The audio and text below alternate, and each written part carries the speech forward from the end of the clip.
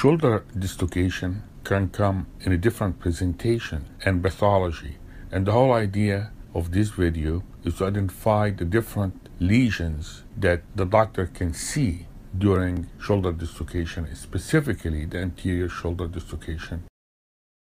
Anterior shoulder dislocation is more common than posterior. There is a high incidence of recurrence in the young, and there is a high incidence of cuff tear in the elderly. There is also some percentage of patients may get an axillary nerve palsy. Two lesions that can be there. One is the Bankart lesion of the labrum. The other one is the Hill-Sachs lesion of the humeral head.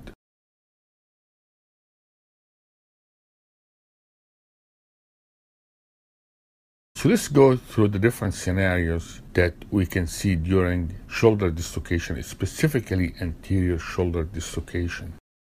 So if you have an avulsion of the anterior inferior labrum, which is present in about 90% of traumatic shoulder dislocation, that is a Bankart lesion. If you have somebody old and they had shoulder dislocation, especially if the person is older than six years old, 80% may have rotator cuff tear. Patient may not be able to raise the arm after shoulder dislocation, which can occur in about 5% of the time, or rotator cuff tear, especially if the patient is older. Another scenario is the HAGL lesion, which is the humeral avulsion of the glenohumeral ligament. So the ligaments get avulsed from the humerus and not mid substance and not at the level of the glenoid. It may be hard to diagnose that lesion, and some people believe that an open surgery is better. How about Hill-Sachs lesion? The humeral head fracture.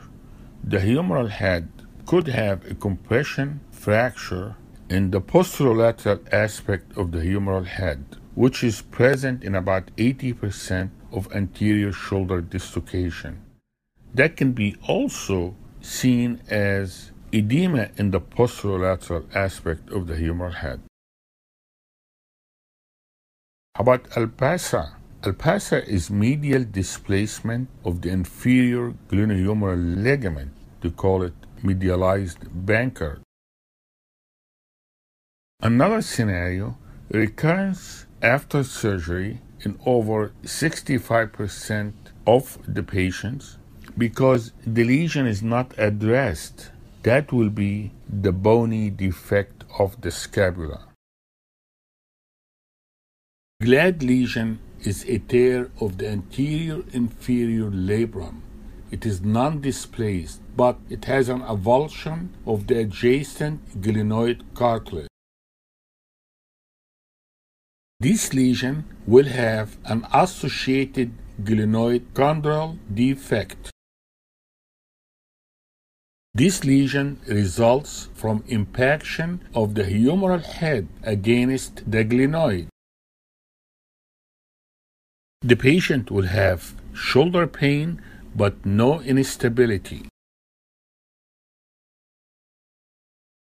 The labrum is not detached. So the patient can say, I am glad that I'm not displaced and I'm not unstable.